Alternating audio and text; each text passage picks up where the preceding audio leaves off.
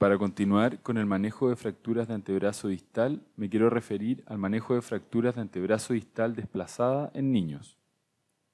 Seguiremos viendo el enfrentamiento de esta fractura considerando los tres grupos expuestos en esta revisión del año 2012, donde se consideran las fracturas desplazadas que requieren reducción a las que no tienen contacto entre los fragmentos y presentan 100% de desplazamiento.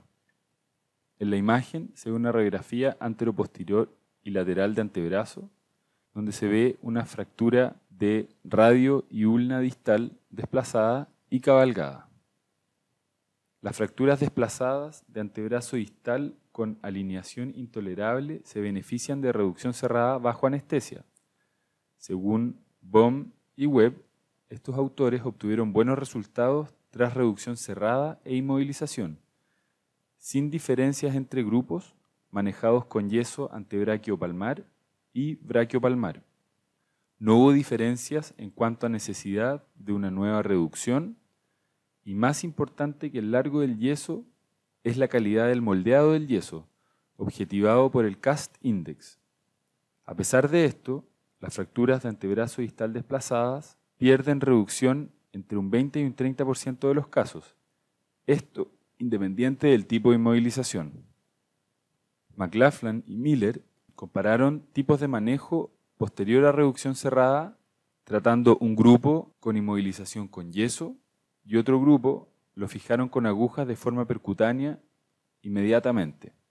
En el seguimiento no encontraron diferencias clínico-funcional hasta los tres meses, pero, según lo publicado en la literatura, tuvieron pérdida de reducción con yeso entre un 20 y 40% de los casos y complicaciones por el uso de agujas que iban desde un 6 a un 38% de los casos.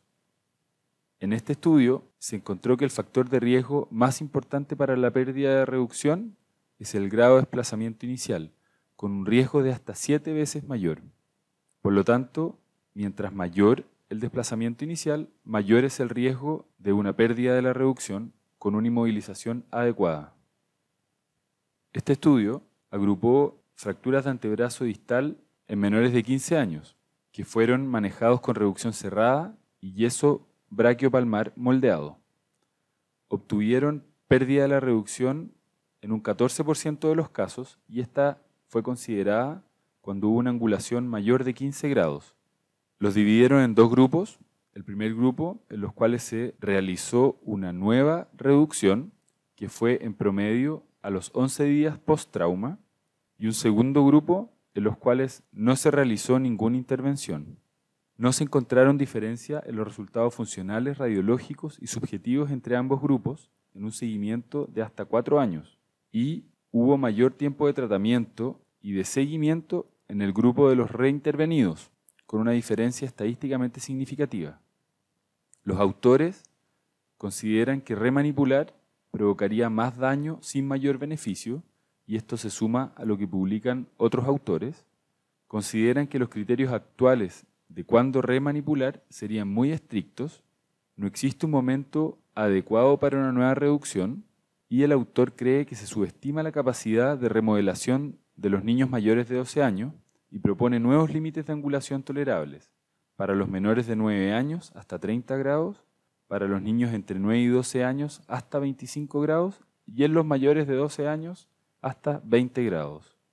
Por lo tanto, un adecuado manejo de fracturas de antebrazo distal desplazadas consiste en una reducción cerrada bajo anestesia y luego una inmovilización con un yeso brachiopalmar.